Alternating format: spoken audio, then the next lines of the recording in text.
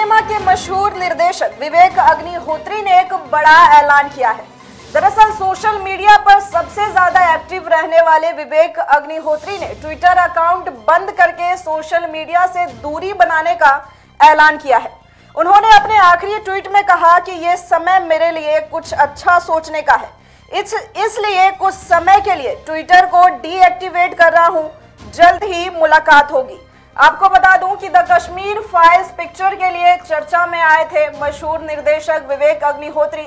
और एक बार फिर से, इस ऐलान के बाद कि सोशल मीडिया से दूरी बना रहा हूँ, एक बार फिर से विवेक अग्निहोत्री चर्चा में आ गए हैं। इस फैसले से कई लोग खुश हैं, कई लोग ट्रोल कर रहे हैं तो वहीं उनके फैंस के लिए ये एक निराशाजनक खबर साबित हो सकती है।